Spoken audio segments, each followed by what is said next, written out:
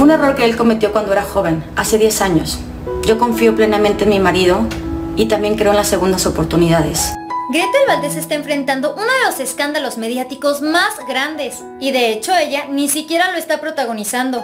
Ahora, después de que se corriera el rumor de que su esposo Leo Clerc estaría encerrado en Suiza, esta actriz mexicana por fin rompe el silencio y a través de un video nos habla acerca de la situación de su esposo. Definitivamente no te puedes perder de esta noticia. Hola, ¿cómo están? Bienvenidos a Famosos de Cerca. Después de que Leo Clerc le escribiera una carta a Patti Chapoy y al programa Ventaneando acerca de su situación legal, la única declaración que faltaba era la de Gretel Valdés. Y ahora, gracias a las declaraciones de esta actriz, esta polémica toma una nueva perspectiva. Fue a través de un video en su cuenta de YouTube que Gretel Valdés agradeció las muestras de cariño, al igual que contó un poco qué es lo que está haciendo ella, y menciona que en este video hablará de su marido y de su situación. Al inicio de su video, esta actriz mexicana mencionó Hola, quiero agradecer por este medio a toda mi familia, a mis amigos, a los fans, por todas sus muestras de cariño.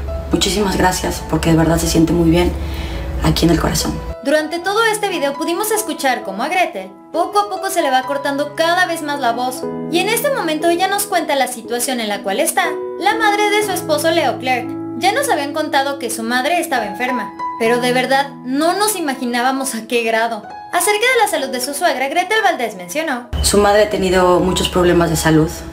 Le cortaron su segundo pie, le cambiaron una arteria de la pierna. Ella es diabética, le hacen diálisis dos veces por semana. Se rompió la cadera y por último le dio coronavirus. Tal y como lo mencionaba Leo Clark en la carta Ventaneando, Gretel Valdés afirma que toda esta situación legal ella ya la conocía, ya que desde hace tiempo su esposo se lo había comentado. Y fue así que la actriz mencionó.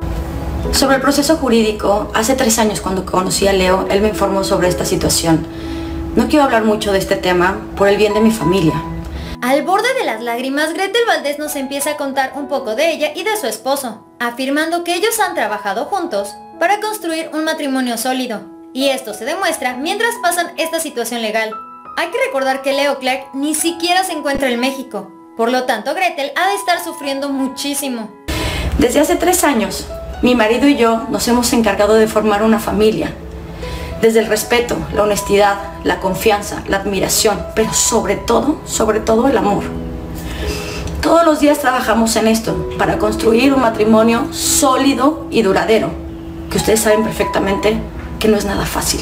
En esta parte de su video, Gretel se toma un momento para agradecerle a todas las personas que han estado con ella y que gracias a que están muy de cerquita, la han hecho mucho más fuerte, afirmando que en estos momentos es cuando más se necesita antes de finalizar con este video, Gretel Valdés también le quiso hacer una mención a Patricio Borghetti, el padre de su hijo Santino. Y de igual manera, aguantándose por completo las lágrimas, Gretel le agradece a todas las personas que la han apoyado. Y finaliza su mensaje diciendo, Gracias, gracias a todos ustedes por estar conmigo, por preocuparse por mí, por sus muestras de cariño, por sus muestras de generosidad, por su amor infinito, gracias. Algo a lo que Gretel hizo hincapié es que ella anteriormente no había querido hablar acerca de este fraude, puesto que esta situación ya formaba parte del pasado, pasado del cual ahora su esposo Leo Clark se encuentra totalmente arrepentido. Después de haber publicado este video en su cuenta de YouTube, Gretel Valdés no ha hecho ningún otro comunicado,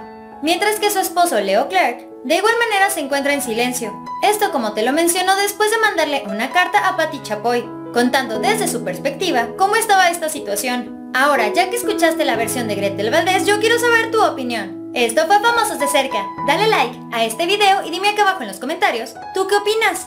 ¿Crees que nos haya estado diciendo la verdad o exageró un poco las cosas? Antes de que te vayas de este video, no olvides suscribirte a nuestro canal de YouTube y activar la campana de notificaciones para que no te pierdas ni una sola de nuestras publicaciones. Puedes seguirnos también en nuestra página en Facebook.